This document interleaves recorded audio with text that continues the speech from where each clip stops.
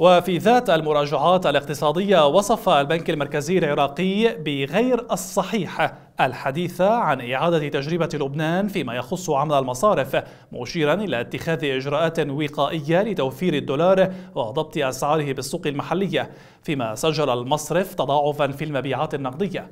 وكشف مستشار البنك المركزي إحسان الياسري عن اختيار قائمة من المصارف للعمل أيام العطل الرسمية المقبلة لكي يستمر ببيع الدولار إلى الجمهور مما سيعمل على تلبية متطلبات أصحاب الاحتياجات من النقد الأجنبي لأغراض السفر والعلاج والدراسة.